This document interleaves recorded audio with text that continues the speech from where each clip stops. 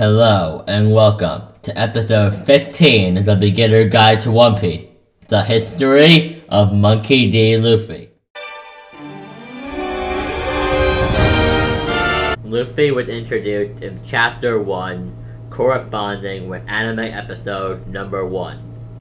It was stated by Oda that if Luffy was a real person, his nationality would be Brazilian. It was stated by Oda that Luffy gets a total of 5 hours of sleep every night. But now that we're done with the fun facts about Luffy, let's get into the history of the character. The history of Monkey D. Luffy. Luffy was born in Fuchsia Village, a village in the East Blue. When Luffy was seven year old, seven years old, uh, excuse me, he met and befriended a crew of pirates led by an affectionate captain named Red-Haired Shanks, the former cabin boy of Gold Roger crew. Though Luffy did not notice, this does impact, most likely impact the way Shanks acts around Luffy, as you will come to find out later on in the franchise. Luffy, inspired by them, decided to become a pirate as well. Luffy stabbed himself with a knife under his left eye to prove that he is tough enough to join Shanks' crew.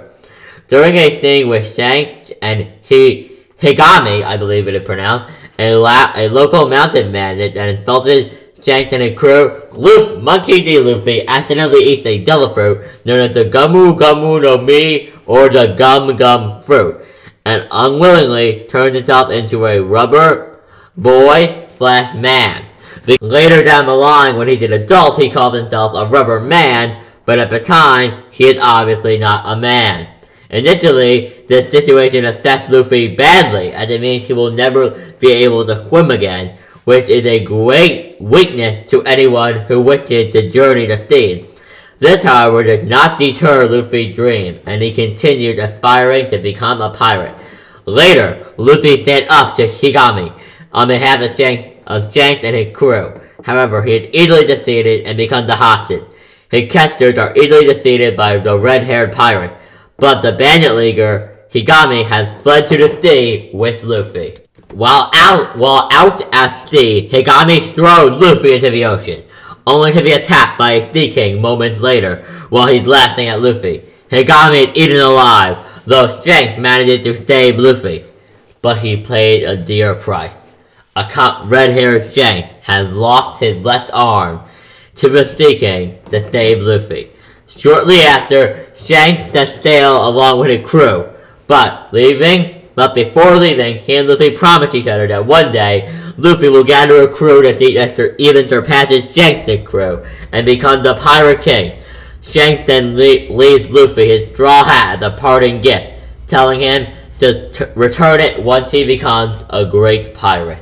Sometime later, Monkey D. Garp, Luffy's granddaughter, takes Luffy into the care of Curly Dada, which is the first time Luffy meets Portgas D. Ace. Garp took him to Dada while Luffy refused. Garp picked him up, uh, knocked on the door, and put him down. He then gets spit on by the newly arriving Ace, angrily glaring at each other. Thinking back about the recent incident with Higami, he tells Dada and the rest of the bandit that he hates them. Dada bitter, bitterly scolds the young kid for saying something like that, telling him to stay there or starve to death. Luffy takes a look at the eat, meat-eating ape and asks if he can have a piece. He then gets scolded by Dada, telling him that he can do fine with just rice and water, but he sees Ace leave and follows him. Luffy said to be, that Ace to Ace that he is not angry at Ace for spitting on him, since it is not something to get worked up about, which is obviously a reference to the Shanks speech, the speech Shanks gave in the bar, which you know, we'll go over maybe in another video about Shanks, but whatever. And he wants to befriend Ace responds by knocking a tree down at Luffy. Luffy then follows Ace across the bridge. Ace notices him and knocks him off the bridge. Luffy returns to Dada's house a week later and tells Dada that he was being chased by wolves and fell off a cliff. Luffy gets sent to bed. The next day, Ace goes out again and Luffy follows, wanting, start a, one thing to start a friendship, only to get shunned by Ace. After three months of persistently trying to follow Ace, Luffy eventually comes across Gray Talia. Ace overheard Ace and Sabo conversation about buying a pirate ship. Each Luffy shows to them and said shows up to them and said that he wants to be a pirate too. And Sabo then tied Luffy to a tree and decided they should kill Luffy to keep their secret safe. While Luffy panicked, and Sabo have a hard time deciding who should kill Luffy, since both Ace and had never killed anyone before. They hear someone coming and they untie Luffy and go hide. Port Porchimon, I believe his name is, of the Blue Jam Pirates, arrived searching for stolen money. Luffy then wandered off and get caught by Porchimon. Luffy yelled out Ace's name. Porchimon recognized the name and takes Luffy away for interrogation. I have been informed that his name is Porchemy, so that's what we're gonna call him from now on. Porchemy then dragged Luffy into a small house and tied and then tied him up. Luffy states that he is not going to say anything. Luffy Puchimi then persists then persists to hit Luffy with a giant hammer, but that doesn't seem to harm Luffy due to his devil fruit power. Porchemy then uses spiked gloves, and no matter how many times Porchemy beats Luffy, he refuses to yield and tell them the information he seeks. Porchemy loses his patience and draws a sword, and is about to kill Luffy when Ace and Sabo arrive. They cut Luffy loose and defeat Porchemy. Out of the woods, Ace asks Luffy, why did he not tell Porchemy about the whereabouts of Sabo and Ace's stolen treasure? Luffy then tells Ace that he wants to be a friend of his. He wants them to become Nakama. He wants them to be friends. And he has no parents with him. And he hates to be alone. After that, Luffy joined Ace and Sabo. And the trio start making a name for themselves. Later on, Luffy is shown fighting Ace with the former loser for the 50th time. After that, along with Sabo, they go to hunt Gatos for the trash, looking for trash and getting into Gray Talia and eat on the and, and they also do some eating run. However, while they were running from the restaurant, a man called out Sabo's name, causing Luffy and Ace to question him. Sabo said that, that the man who called out his name was his dad, a noble. He tells him about his past, and then said that he wants to be free as a pirate, and he read a book about the world. Everyone soon realizes that they cannot agree to be on the same pirate ship as Captain. So Ace comes up with an idea, telling Luffy and Sabo that they can become brothers by exchanging drinks of sake. As long as they have that bond, this bond, or that bond, whatever you want to say, it will not matter where they are, they will always be brothers. Now, this is the saddest part of Luffy's backstory, if you ask me. Now we begin the Sabo incident. But one day, everything changes. Sabo's father Sabo's dad hired Captain Blue Jam to bring back Sabo and get rid of Luffy and A. Luffy, Luffy and A. Sabo begged his dad to tell Blue, Blue Jam to stop hurting them and that he will do whatever his dad commands to protect his two younger brothers. Ace tried to stop him from leaving, but the poor kid just walked away with his dad, with tears rolling down his face.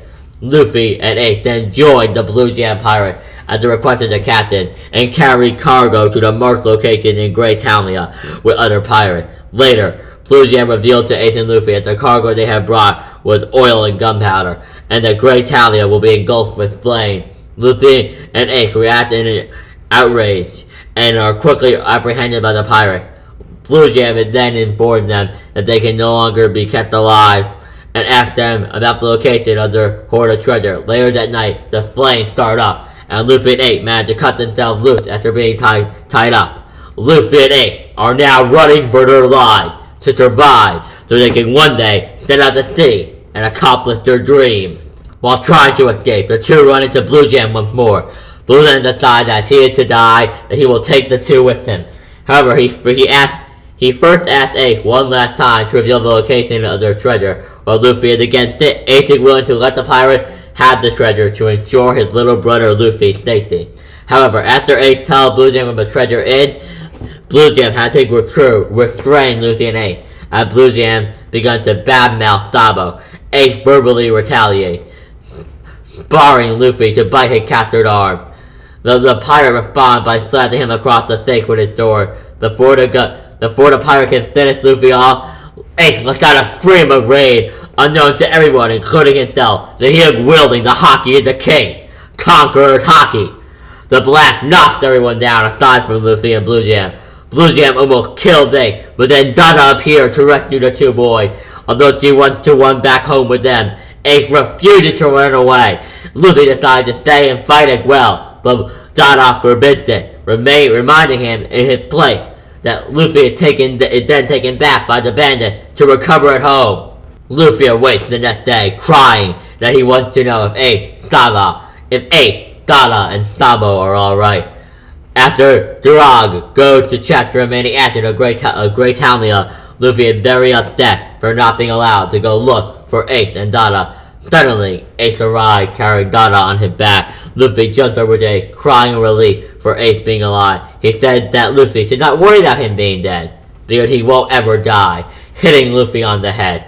Ace tells how he and Dada got out of the burning Talia after beating Blue Jam, and Dada re rests while getting healed with the medicines Ace stole from town. Later that day, while outside playing with two beetles, Luffy sees Durag coming back for the sword and tells him that Dada and Ace were already home. Da Dada Durug then tells him, while looking for Ace and Dada, he went to the city and stopped Stabo standing still on a boat. And that and then the boat was shocked by a celestial dragon. Ace attacked Durag, accusing him of lying, but he replied he's not lying, nor dreaming. He saw it with his own eyes. Luffy realized that was not happy at all for coming back to the city, and starts to cry. Ace tried to go to the city to avenge him, but is stopped by Daba, because she is afraid of Ace being killed, blaming the country for killing Sabo, not only the nobles. Since Ace is too angry, he is tied to a tree, while Luffy cried the whole night.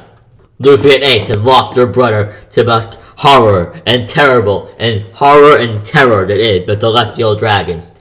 A while later, Luffy, still mourning Sabo, asked, asked Ace to promise him that he will never die, in which Ace makes the promise to Luffy that he will not leave his crying baby little brother alone, ever.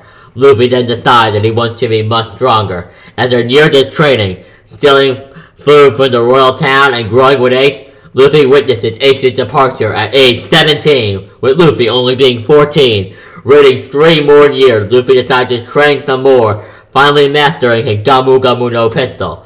Ready to depart when he turns 17, he then thanks Dada and the bandit, and then waves goodbye to the rest of the village, saying that he is the third, after Sabo and Ace depart, to depart, and he then declares his dream. I will become the Pirate King!